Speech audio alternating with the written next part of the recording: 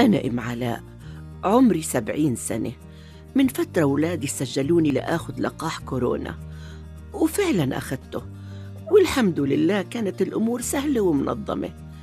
في أول 24 ساعة عانيت من أعراض جانبية. صار عندي انتفاخ في مكان الحقن وارتفعت حرارتي شوي وحسيت بتعب عام. بس ما خفت لأنه الدكاترة فهموني إنه هذا إشي طبيعي. وهلأ بعد ما أخذت اللقاح رجعت لحياتي الطبيعية. باللقاح بنرجع لحياتنا. خلوا الحياة ترجع لطبيعتها. صندوق الملك عبد الله الثاني للتنمية.